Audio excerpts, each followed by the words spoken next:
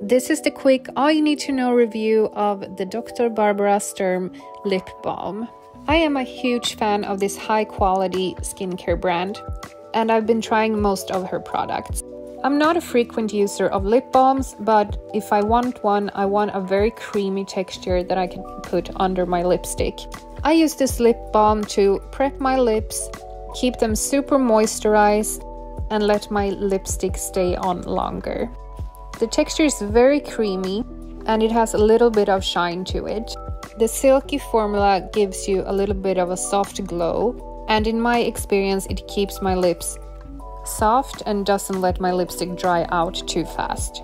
My favorite thing is that it has vitamin E in it, which is used in many skincare products for a youthful look. I recommend this.